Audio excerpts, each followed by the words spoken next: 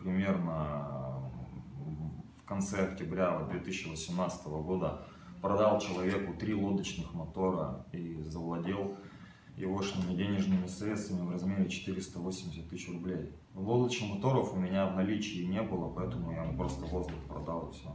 Ну, как-то так. В содеянном раскаиваетесь? В содеянном раскаиваюсь, да, вину признаю полностью. В будущем возмещу ущерб.